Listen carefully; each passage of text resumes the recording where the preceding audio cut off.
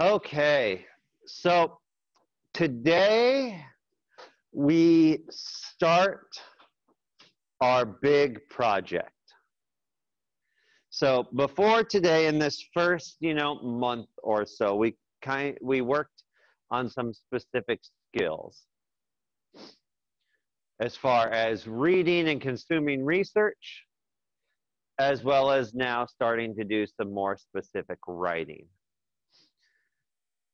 So from now on, everything that we do is going to be on a single topic, and we're just going to build each section one at a time.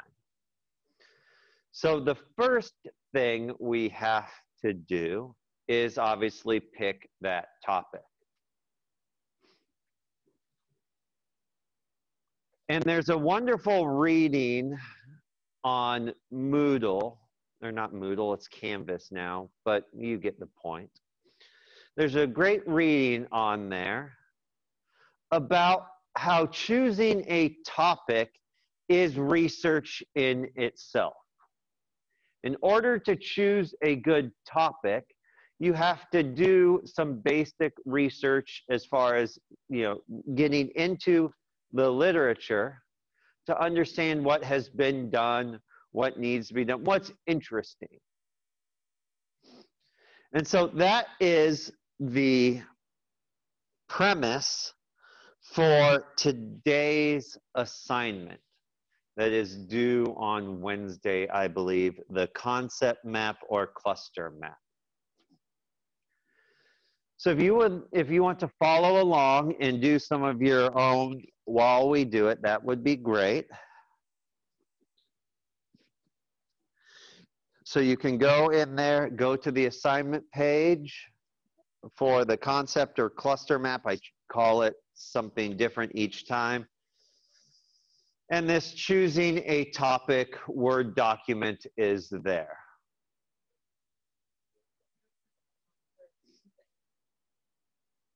Oh, didn't save, so I got I gotta unlock that. Okay.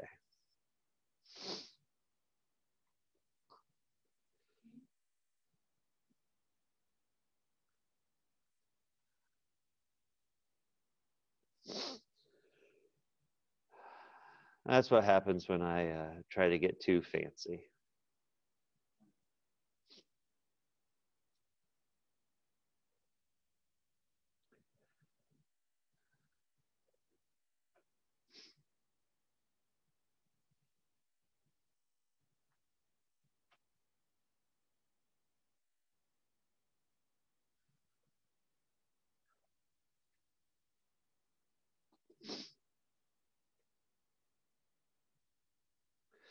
Okay, that should get you there.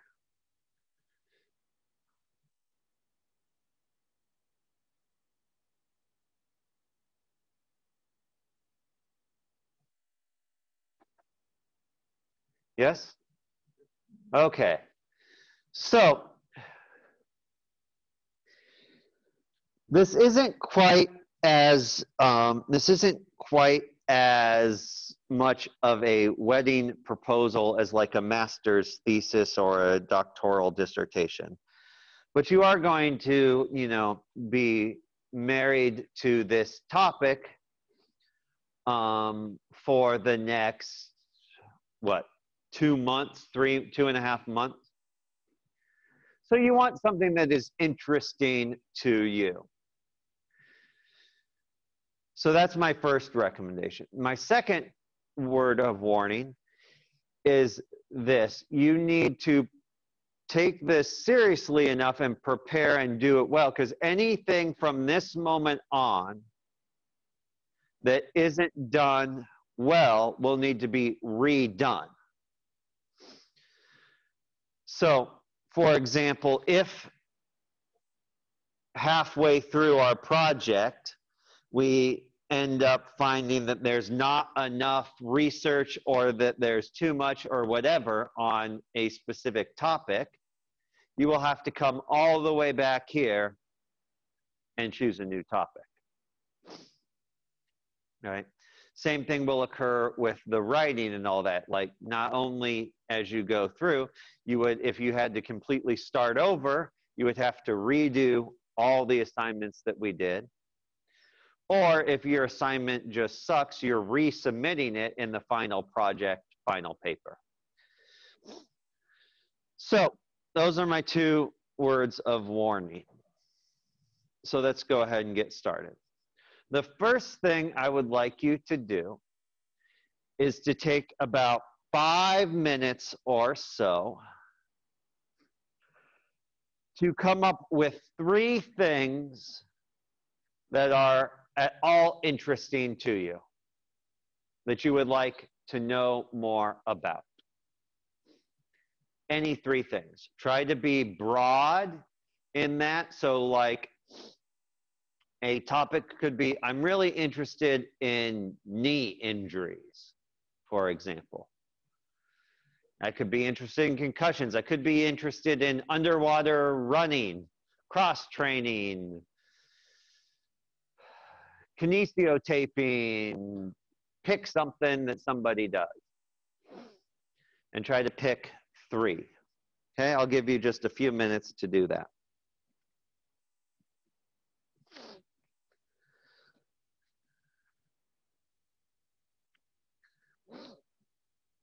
Uh,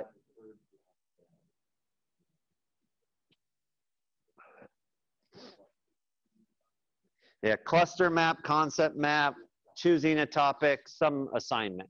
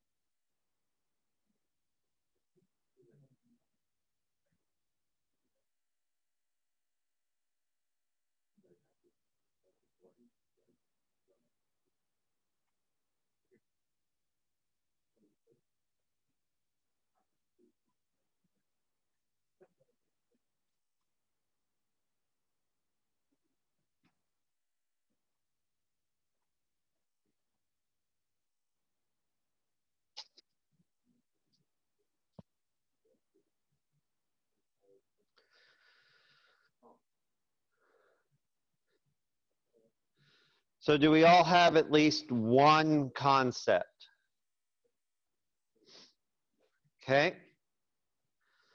So next, what we're going to do is make a concept or a cluster map.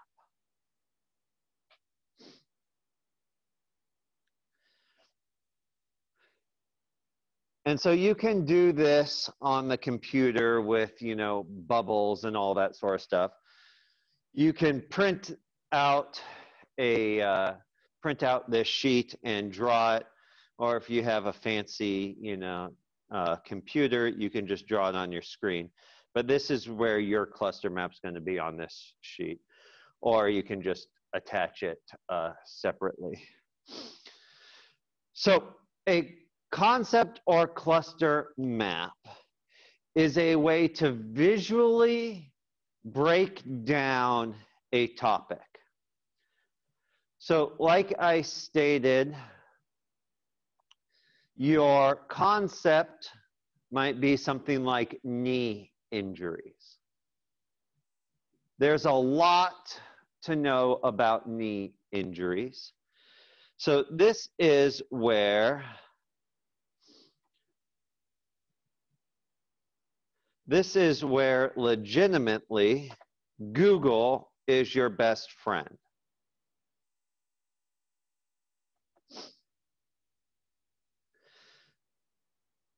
So for this one, this is just an example I did quickly one time. I use knee injuries as in football as my idea. If you Google knee injuries in football, you'll probably get a whole bunch of like um, examples of that, and that's great. But what I need to understand is what are the components of that? And so when I Google knee injuries in football, and I look at some of the examples, I realize there are two different types of knee injuries common in football contact injuries and non contact injuries.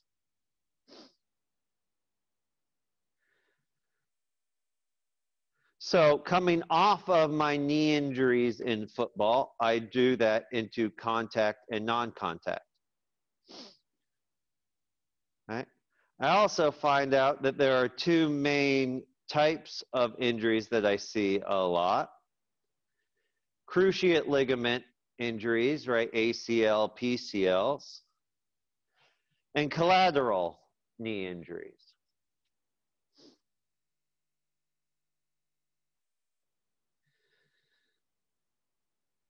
I see there's a bunch of different treatment options. You know, there's talk of injury rates, there's talk about non traumatic injuries, all these different things. So when I Google my concept, right, I need to look at what sort of things come up and use your own knowledge of your concept or your topic as well. What are some of the big things going on in there? So who has uh, an example they would like to uh, share with the class?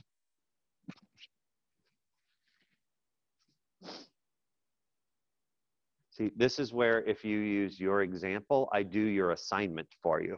Evan, what's yours? Okay. So let's go up one level from that.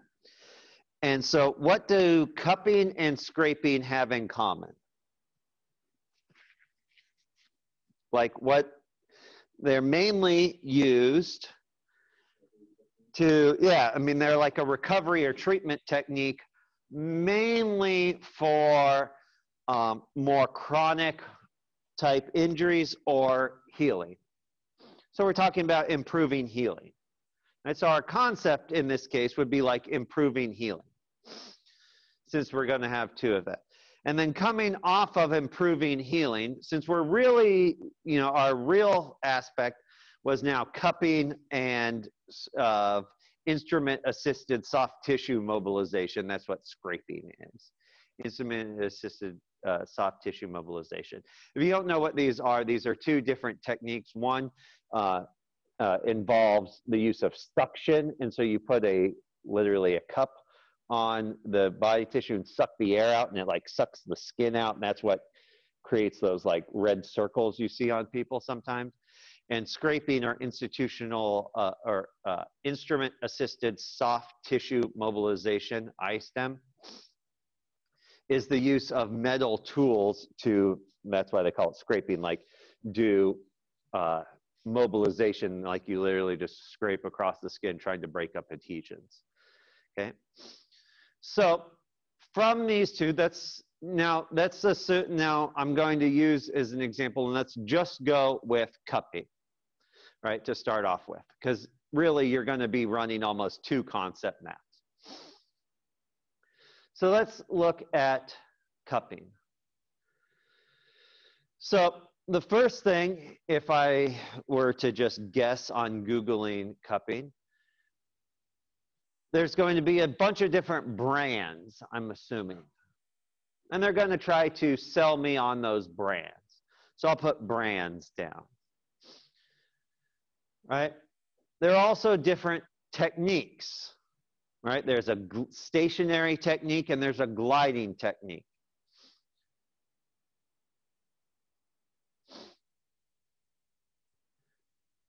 There are also different suction methods.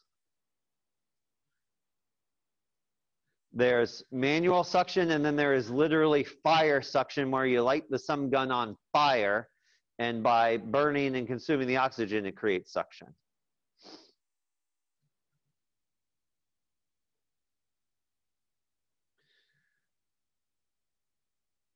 So I would so that is three off of that one. I would like to get to about five things off of each one. So those were the three that came to my mind. I'm sure the Google would give us some more. Let's do one more example. Who has a who would like to share a topic they're interested in? Okay, speed training. Great one. So now when I start thinking of speed training just off the top of my head, I'm thinking of the basic, you know, FITT type principle, right? We have frequency, intensity, right? Type and time. Right? That's that's what comes to my mind anytime we see training. Frequency, intensity, um, type or mode, and time. So that would be there. And then maybe is there another big topic that you have, like in there? Yeah. How about how about technique? Yeah, mechanics, right? I mean, like in speed training, mechanics is becoming a big, a big component. Okay, so that's perfect. So that's five. That's about what I want. And as long as I'm comfortable with, you know, that all of those things are of some interest to me, great. If I'm starting to stretch to the point where I'm like, ah, I don't really care about that, then I probably have too many. So I also want three levels. So by three levels, let's go back to this. I have one level is my main, knee injuries in football. Non-contact is the second level. And when I look at non-contact injuries, I want a third level. So when I read about non contact injuries, I see a lot about cutting and jumping. All right, so cutting be one, jumping could be another. There's not a lot of jumping in football, it's mainly cutting. But when I also start looking at non contact knee injuries, I see this idea of Q angle comes into play. And Q angle is the quadriceps angle, basically width of hips to lay to uh, knees. You also see VMO control coming into play, right? And then uh, also hip control, right? Knee positioning, stuff like that. So let's go back to Rudy's because it works uh, fairly well in there. So let's look at frequency.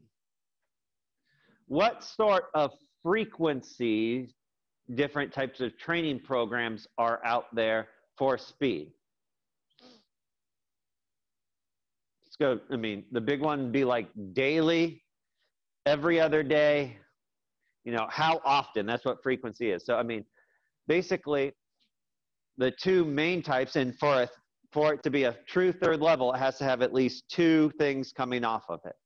So let's go for frequency, daily versus every other day. All right, those are the two main training protocols. Not many people uh, come up with much more than that. You can also include in frequency a little bit, if you look at within set frequency, the idea of full recovery versus partial recovery. All right, so now we got four things coming off of that one. That's about good. So intensity. So when I think of intensity, I'm thinking maximum versus submaximum. And in speed training, I'm also thinking of over speed versus under speed versus full speed training. So in that one, because there are three that might um, that might come into play with that.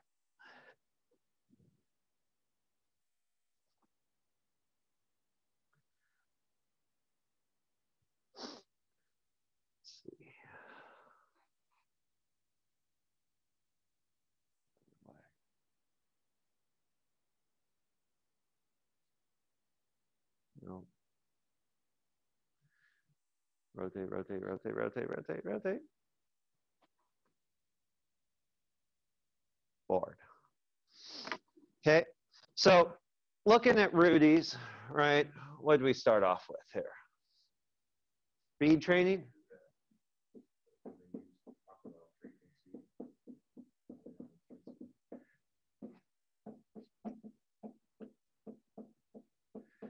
Coming off of frequency, we had daily, every other day, full recovery,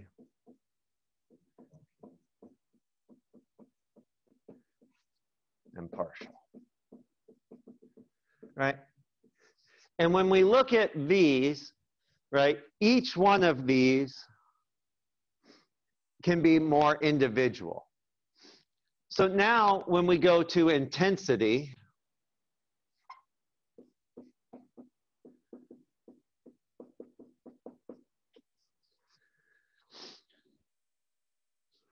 because we're really looking at groups of two a lot more than this because this is daily every other day it could be but these are every day frequency training is very different than every other day frequency training. Um, whereas same with full recovery partial recovery. I can also do it this way here. So let's now do a third level that's load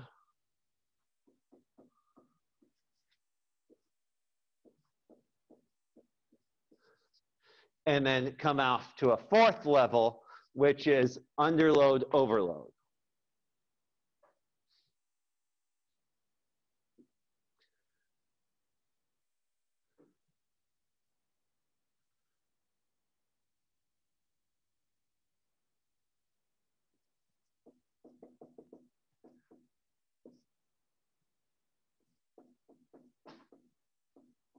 Right? And then off of intensity, I'll do maximum, sub-maximum. I could then, you know, because that's basically just off of intensity.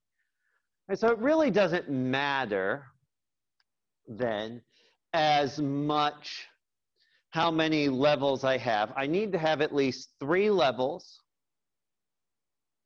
because I want to be at least three levels away. And I need to have probably, so that would give me, say, at least 10 to 15 at minimum on my final level things. Does that make sense as far as what I'm asking on this concept map? Yes.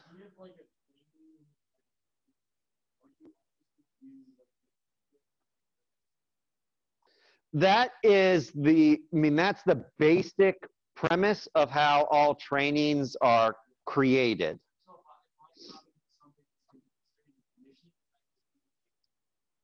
that gives you a good starting point. At least one more. Now, when you do a fairly generic like the FITT principle, it makes it more likely that you would need to go out to a fourth level to get specific enough for something that's not so broad.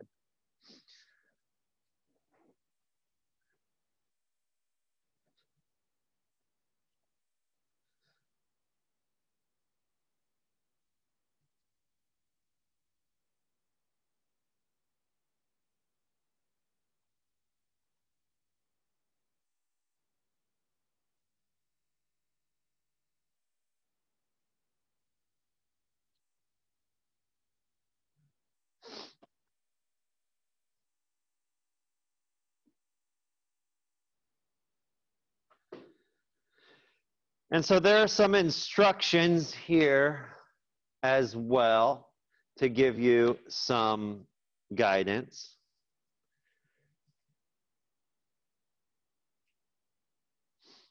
As well as then the specific instructions on that.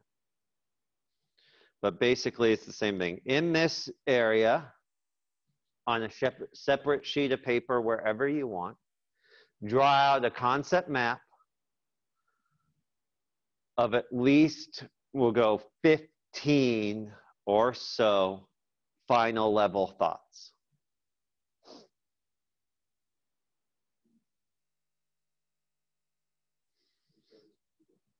This is due Wednesday. From there, I have three questions. Does that need to be regarding all three of our topics? Oh, good question. Just one. Pick your favorite of the top topics. I always try to give you a you know a going back point that's a little bit closer than the end. All right, so start pick your favorite of the three general topic areas and do a concept map for that.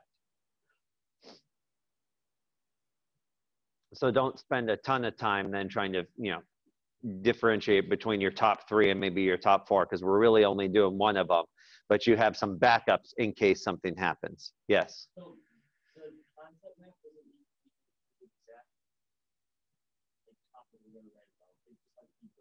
Yep, don't, at this point, for this week, I'm going to ask you just to really try to stay with me for just this week because on Wednesday, we will turn our concept map into a question. So don't get too crazy on you know getting very specific. If you have a very specific idea in mind, that's great. Then just do this assignment and just kind of do it in case we need to go back to it. Yep. Yep.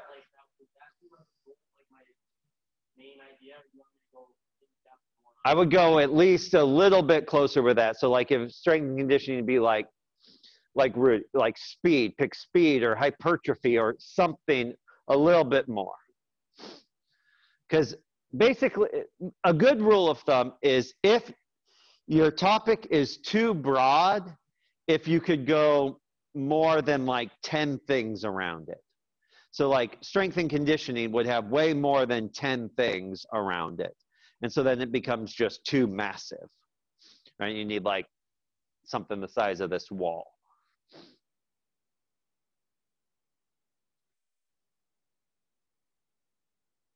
So after you've drawn at least 15 things, I want you to look at the final level.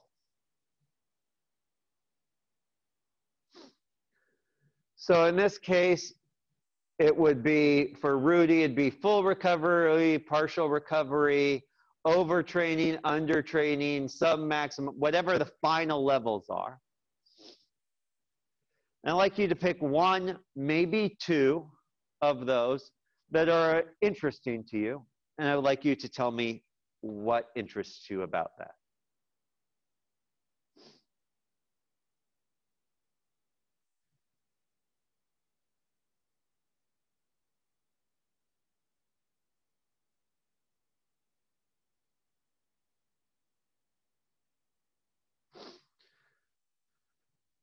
Next, I would like you to look at the whole.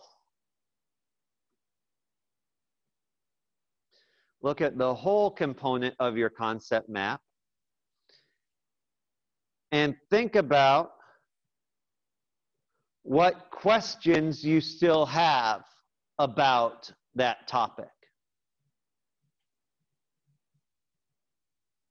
So, like a good one for Rudy, going back to Rudy's there, might be Are there new speed training techniques that I don't know even exist?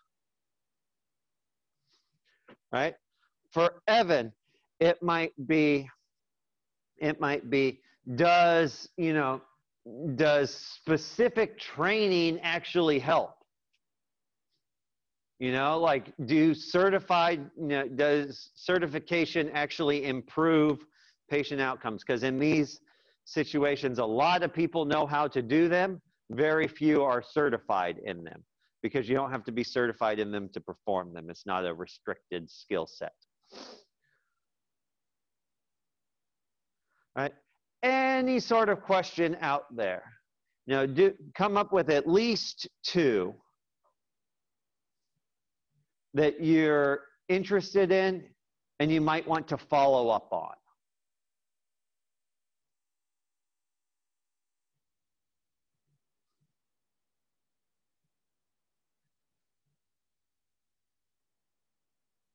Lastly, for the assignment, I want you to start to get more specific. And so before you answer question C here, I would like you to do some preliminary searching in the um, in the model of choosing a topic as research. So I want you to now think of you know the specific areas in there you know if i made you pick a topic today what would you pick And then I would like you to do some research on that, not reading a ton of it, but just doing some preliminary searching.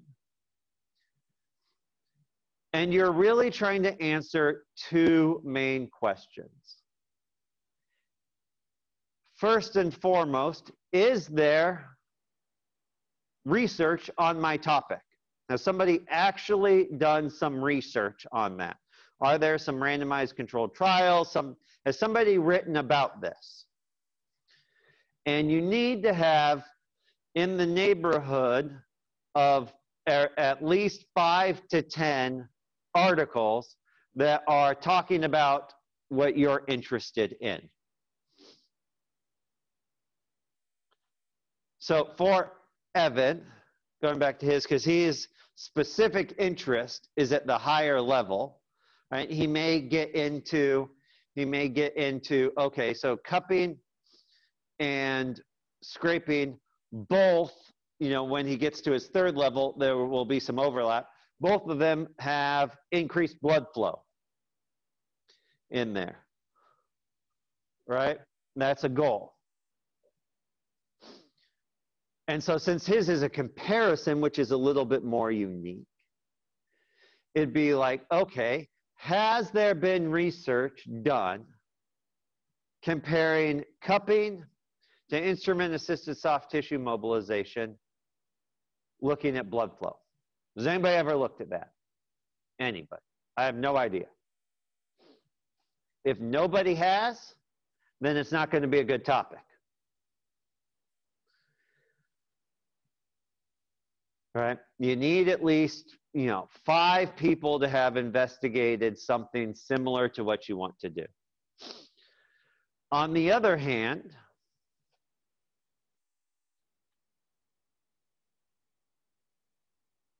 if, you know, in Rudy's case, he look, he decides to research, he's most interested in maximum intensity speed training.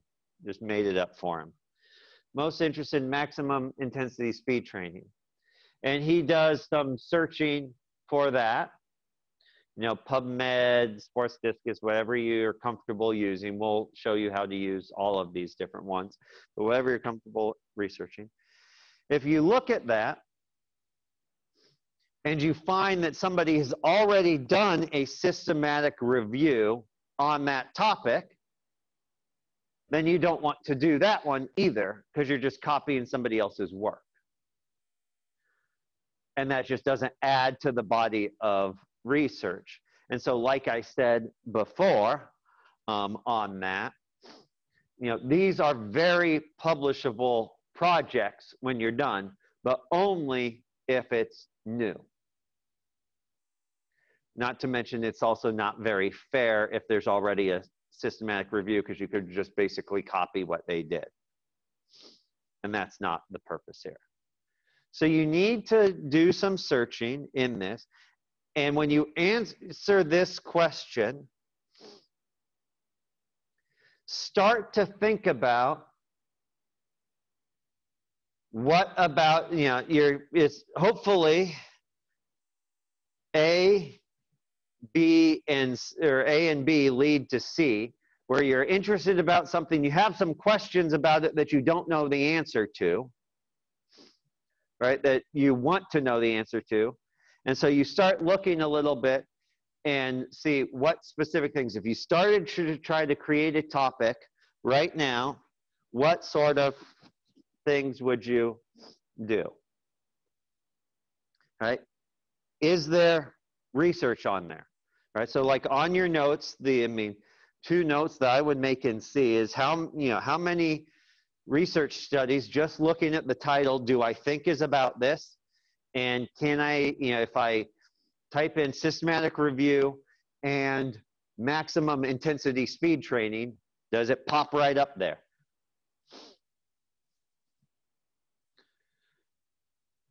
That's the end of that assignment.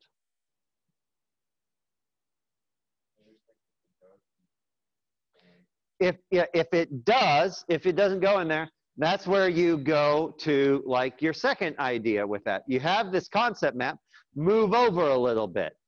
You know, does sub-maximum intensity training have a systematic review on it or articles?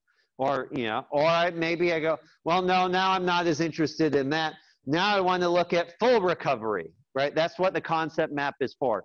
Each of those final levels could be the start of a project for you. That's the idea. Or you, or it's completely possible at that point. I mean, because this shouldn't take that long. You know, it's completely possible that I really was only interested in maximum intensity speed training because I did an internship on it this summer and blah, blah, blah, blah, blah, blah, blah. And if that's already been answered for me, then I would rather go to you know, underwater weighing, right? And completely blow up this topic and go to another topic, which is perfectly acceptable too.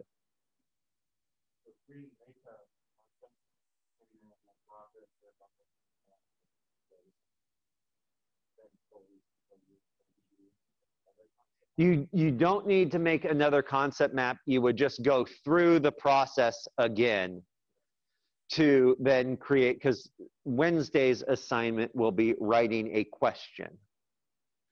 So if between, so say on Wednesday or Tuesday night, you submit your concept map and Wednesday you decide, no, I don't need, you know, I don't want to do that. Then you would just need to go through the concept map process to create a new question. You would not need to resubmit it.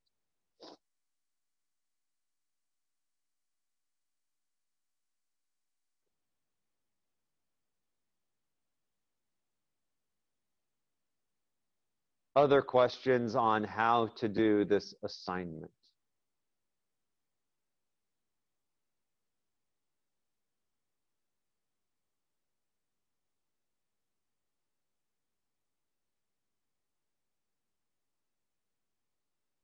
Other questions about anything? Correct.